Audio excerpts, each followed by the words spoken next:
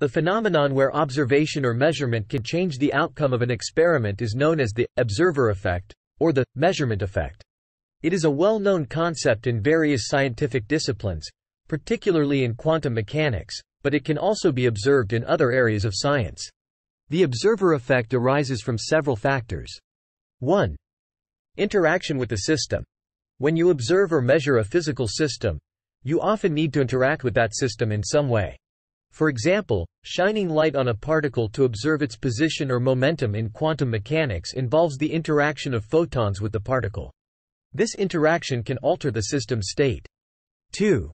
Uncertainty principle. In quantum mechanics, Heisenberg's uncertainty principle states that there is a fundamental limit to how precisely you can simultaneously measure certain pairs of complementary properties, such as position and momentum.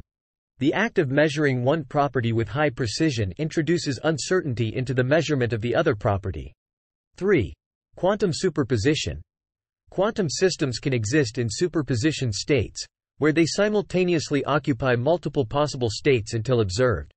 The act of observation or measurement collapses the superposition into a definite state. 4.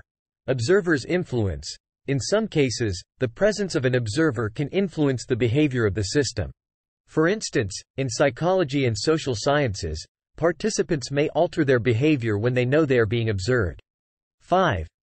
Measurement device properties. The properties of the measurement apparatus itself can impact the results. For example, in physics experiments, the precision and sensitivity of the instruments can affect the measurement.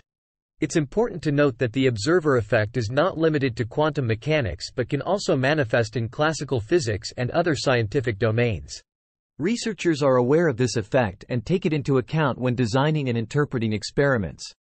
In some cases, scientists employ techniques to minimize the impact of observation, such as using non-invasive measurement methods or isolating the system from external influences.